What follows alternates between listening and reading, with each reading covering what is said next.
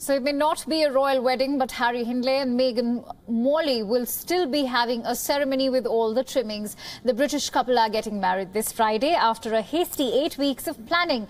Much like their royal namesakes, the pair who met at college will also work together in married life.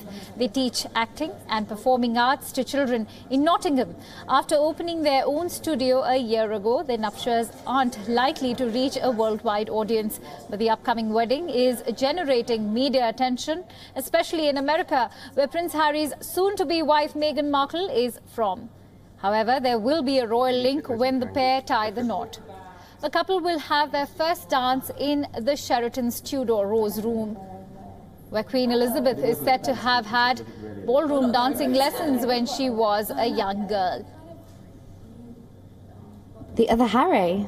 Um, I think I think he's a great example to young boys. Obviously, he's done so much for our country, and you know, in memory of his mum Diana, he does a lot of charity work, and I think he's just a really great role model and someone who we can. Well, I'm really proud of. Like, I really am into the royals. Really love the royal family, and I'm very excited to see their wedding. And the other Meghan is perfect for for the other Harry, and I'm perfect for this Harry.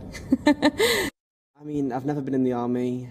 I've never stripped off, um, but I've been in a show called King and I, if that is some sort of link.